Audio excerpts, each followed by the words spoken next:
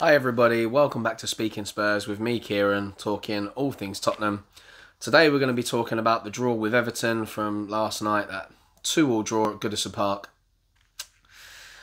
And uh, is it all over now? I said we needed to win pretty much all the games coming into the end of the season now. So we've lost to Manchester United and then picked up a draw against Everton. And they arguably were our most difficult games up until the last game of the season when we play Leicester.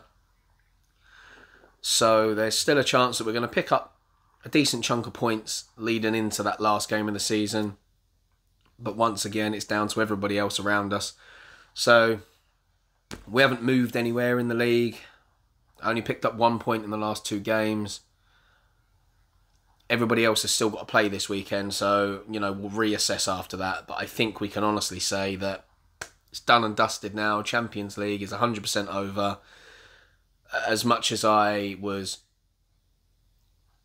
optimistic that there was still a chance, obviously mathematically there's still a chance, but you can't see all these other teams around us dropping that many points. There's just there's too many people that can jump into it now, and I think some teams have got better, let's say, hunger, desire, mentality to push on and grab those spots.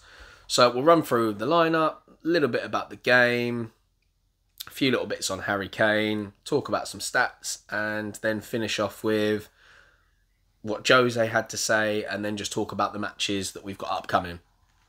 So with the lineup, I predicted my lineup based on the formation that we normally play. And I've had discussions with many people, and I think I may have mentioned it in the last video that I wouldn't object to going three at the back. So he did go three at the back. And when you look at the lineup, you can see why he's gone with the people he has. So you've got Lloris in goal. Our three centre backs were Toby Dier and Rodon. And then our wing backs were Aurier and Reguilón. So far, I've got no issues with that team. A lot of people in their predicted lineups had Tanganga. I can understand why you've done that. Tanganga is a good young prospect. However, Aurier is more proven going forward.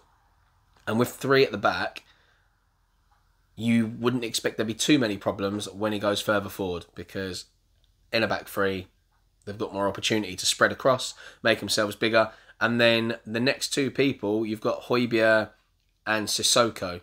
Now, this is where the problem for me comes in, but we'll just run through the rest of the team.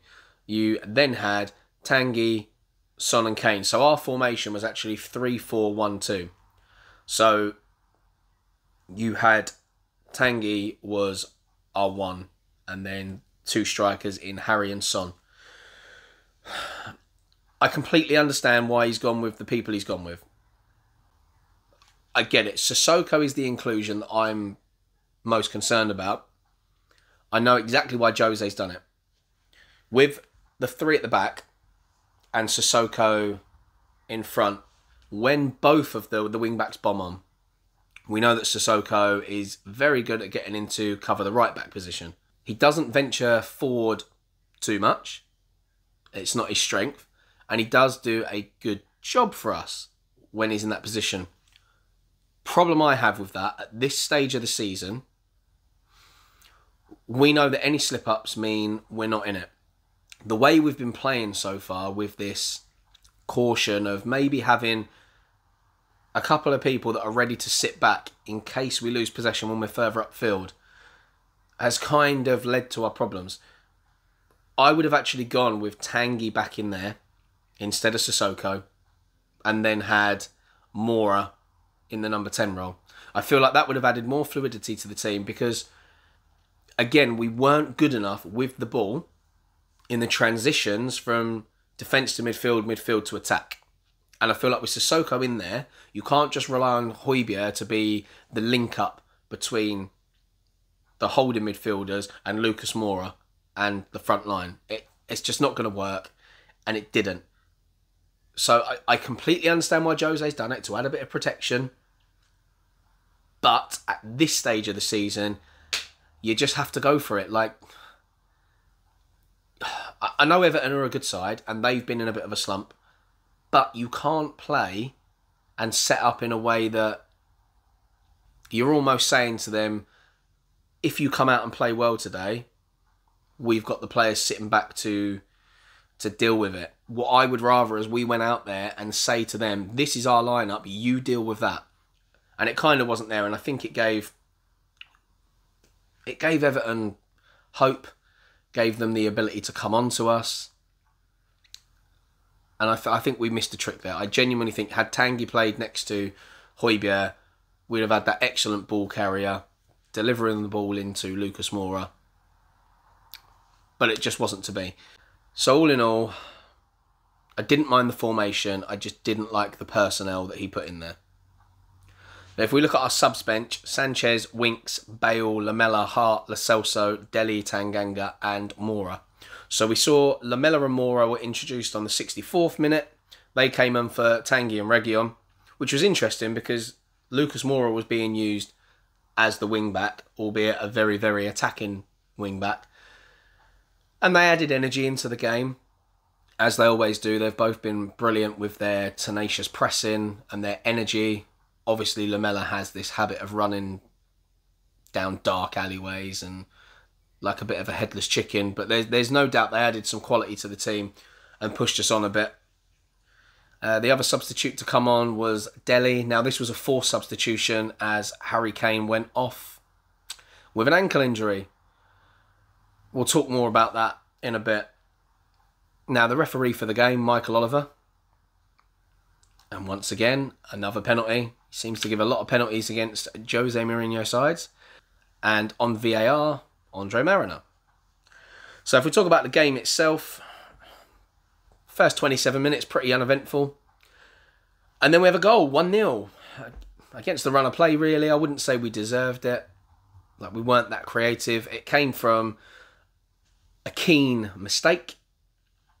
And uh, Holgate wasn't too much better either there. So the ball's come over. Keane's gone for a header, not connected with it properly.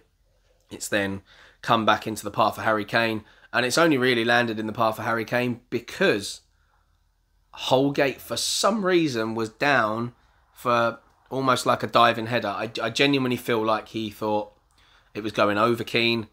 And had Keane not touched it, Holgate would have cleared the ball.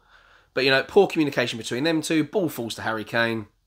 One touch, pops up, bang, volley into the left hand side of the net. Keeper never had a chance, really. Decent finish. League didn't last long, though, did it? Four minutes later, Everton get a penalty. And VAR once again didn't overturn it. Michael Oliver pointed to the spot very quickly. So what's happened here is James Rodriguez is bursting into the box. Reguilon's chasing him. As James pulls his leg back to take the shot, there's contact between him and Reguilon. He goes down. Uh, whistle's blown. Reguilon gives an initial like what, and then after that, there's no kind of protest from the Spurs players at all. They've just accepted it. And Gylfi Sigurdsson does what he does best. Penalties, set pieces. You know, he's a specialist in that area. Bang, puts it in the back of the net. Uh, regards to the penalty, some people are saying it is, some people are saying it isn't. For me, I don't think it's a penalty. I don't think there's enough there. It's very soft. Some people are saying it's reckless from Reguilon. But the thing is, he's he's running back at some pace to try and catch James Rodriguez. He's doing his job. It's just a bit unlucky. I think my problem with VAR is this reasoning as to why they do and don't overturn referees' decisions, or at least ask them to go check the incident because Michael Oliver has blown up so quickly and at full pace, you can understand why he's blown. But I think VAR, the, the thing that we've got wrong is it has to be a clear and obvious error. I think that needs to be eradicated. Like, you don't get in tennis um, all this stuff. Like, if the ball is like a centimetre, like, sorry, like a millimetre out, oh, well, we won't we won't call that. We'll say that that was in instead of out because it wasn't a clear and obvious error. Because at, at full pace and where the lines are, it's very hard to see. No, that's not the case. Cricket. You know, they don't turn around when when there's the appeals and go, right, let's have a look at that. Oh, it was only just going to hit the top of the bail and knock them off. So we'll say that, that that's not out because it wasn't a clear and obvious error. Look, at the end of the day, if the call is wrong, whether it's clear and obvious, it does not matter to me. The fact is, it shouldn't have been a penalty, so therefore it should be overturned. And I think that's the way VAR needs to go. It shouldn't be about the pride of the referees. Look, referees are going to make mistakes. The game is played at an incredible pace. You have players that can get in the referee's view, the angle that the referee is currently standing at. Look, I don't have any qualms with Michael Oliver for getting the decision wrong because at full time, at full pace, sorry, there is an argument that it looks like a penalty. The fact is, when you look at it on the replays, the VAR should be saying to him, "Look, it's not a clear and an obvious error, but have a look at it. Shouldn't be a penalty. Tell us what you think. Overturn it." That's the way VAR needs to go. There's no point in having VAR if we only eradicate some mistakes. It should be there to correct all mistakes. But hey ho, is what it is. Um, after that point, Everton kind of really grew into the game. They were better than us in pretty much every position. And then, second half, 62 minutes in, Gylfi Sigurdsson again has the ball in the back of the net. Two for him now. And I do think a little difference in the game. Seamus Coleman comes on. The guy's brilliant. I love Seamus Coleman. Very good player, very good mentality. Comes bursting down, plays the, the cut back into Silkerdson? Into Sigurdsson, who first time finishes, put the ball in the back of the net. It's good play from Everton. I think we could have done more. Reguilón could have been better. I suppose you can argue that Reguilón's been running up and down all game so far, and Seamus Coleman has come on, set of fresh legs. But based on the age difference and the pace that Reguilón has got, you'd expect him to do better there. But their lead didn't last long either. 68 minutes. Um, Harry Kane, another goal and another mistake from Everton. More poor communication between Keane and Holgate. So Holgate is going for the ball and then pulls out because I think he gets a call from Keane. But Holgate's momentum keeps him drifting back because where he's jumped, he's jumping backwards. And Keane's come rushing in. He makes the header, but by this point, they're like that far away from each other. So Keane doesn't make a fully committed header. He headers the ball straight into the the back of Holgate. Ball falls to that man, Harry Kane. Another sweet volley into the back of the net. I mean, both our goals technically were from crosses, but they weren't great crosses because they both should have been dealt with. They were both put into the central area where Harry Kane wasn't. He was further back. So in terms of the crosses, they weren't great. They weren't even half chances.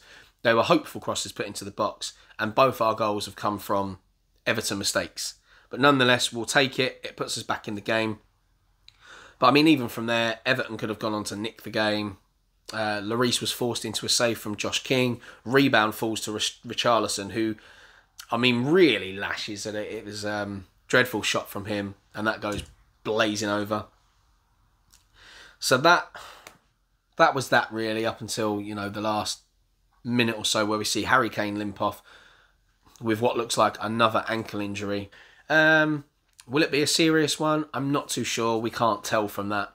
I mean, this is the sort of injury that I pick up all the time, and a lot of the time it's only for a few days. I'd expect to see him in the final, they might rest him for the next Premier League game. That would be the sensible thing to do. But it is what it is. Uh, so, yeah, a draw on the day. Probably a fair result if you look at the game as a whole.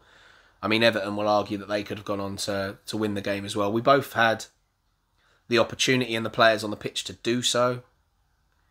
But we really didn't show the fight and desire of a team that is desperate for Champions League football. And I think that's the problem had this performance come, I don't know, early in the season, a draw at Goodison Park, based on the way they're playing, I don't think you come away from that saying, "Oh, we're rubbish," and you know we need to sort ourselves out. I think you would you look at it as not too bad a result, and it's the same with the Manchester United game that we played last.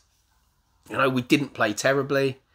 And in this game, we didn't play too badly. But the problem is, at this stage of the season, with the players we've got, with the questions we're asking constantly of our players, it just wasn't good enough. There needs to be more hunger, and more desire, more passion.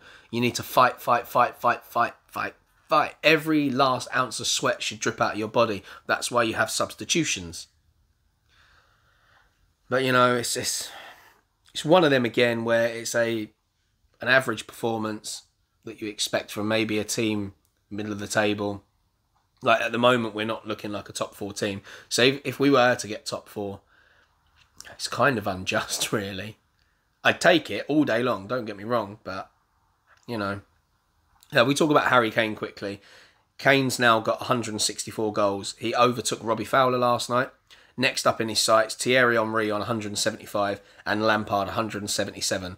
Now, if Harry Kane stays in the Premier League next season, which it looks like he will, um, based on what Levy said, there's a rumour going around that they've had a meeting and Levy has said, You're not going anywhere this transfer window. So you'd expect him to be at ours, scoring more goals. I mean, he could even reach the Thierry Henry one this season if he stays fit and bangs them in for the last few games. We have scored a lot of goals this season, so I wouldn't write it off yet. But certainly he'll hit both of those next season. Now the this is the statistics and they don't read great. I mean it, it's fairly even for the game and I think that's my problem. So possession 52% to Everton, duels, Everton 50.5%, 90, uh, 49.5 for us. So again, very even. Aerial duels 50 50. Uh, interceptions, Everton 8, us 7. Offsides, 2 for Everton, none for us. Corners, 6 to Everton, and 3 for us. My biggest issue looking at this, I think, is the offsides and corners. Like you can look at it with not getting any offsides given against you, saying, oh, well, we did well there. We obviously, you know, didn't overrun and things like that. But my problem with that is we haven't attacked enough. That's the way I see it. We, we haven't got forward enough. Uh, corners. Again, only three corners in the game. That would tell you that the shots that we had were either too close to the keeper and they were easy saves for him, or there's a lot that have gone wide or fallen back out to their defenders and have been cleared away. So I think when you look at the offside and corners, it, it just goes to show our lack of attacking prowess in that game, and it could have been so much more had you swapped a few players out. I personally think. Uh, let's talk about Jose. What he basically said after the game is two teams that are like have a lot of similarities, which he also said in the build up to the game. A good game from both teams that tried to win. Hmm. Did we though? Did we really try to win? Like I have no doubt the players wanted to win, but to me, there's a difference between being in the game and trying to win. Um, said it was a fair result, and I think we can all agree it was a fair result on reflection and too early to speak on the Harry Kane incident. So I think he said in his press conference after the game that maybe we'll have news Tuesday. So I think that we'll have to wait till Tuesday to find out. So next up for us is Southampton at home. Uh, that's a very winnable game. That is at home on Wednesday the 21st. That's a 6 p.m. kickoff. And then after that, we have a cup final against Manchester City, which we're hoping that Harry Kane is fit for. But if he's not, what'll be interesting is to see what sort of lineup we go with. So I, I, I don't know about the cup final. A, a lot's going to depend on the formation he goes with, the players available, the players that he picks. I don't know, but cup finals and you know 50-50 on the day. Form doesn't really mean anything. It's just the team that turns up on the day or a little bit of luck, as we saw in the Champions League final against Liverpool. That Sissoko handball, that kind of moulded the game there. So, yeah, that's that. Everton's next game up, they're playing Arsenal away. That'll be a tricky fixture for them. But, you know, we've got to remember that they've got that game in hand. So that game's left us in seventh, five points off the the top four now, and Everton stay where they are in eighth. They're six points off, but they win that game in hand. They leapfrog us. So although it wasn't the worst performance, again it's a disappointing result, and uh, I think we may have to accept that we might not even get Europa League football this season. And although it's devastating, it might not be the worst thing to happen to us. Like we've had a lot of games this season, loads and loads of minutes. And because Jose hasn't rotated as much as maybe we'd have liked him to, there's a lot of tired players out there. And we do seem to look unfit and sluggish towards the end of games. So maybe a season out of Europe might do us some good. You've only got to look to Chelsea. You know, the season they had no European football, they ended up winning the league. Like it does make a difference. Your players are a lot fresher, so you don't have to rotate all the time because you keep your main men fresh. But we'll see. We'll see. So that's it for today. Um, thank you for sticking around. Hopefully you enjoyed what unfortunately couldn't be a happy, happy video things just aren't going our way at the moment. So it is what it is. As I said, thanks for sticking around. Um, don't forget to subscribe to the channel if you haven't already. If you enjoyed the video, support it with a thumbs up and you can turn on the bell notifications so you get notified when the next video goes live. And as always, guys, stay safe and come on, you Spurs.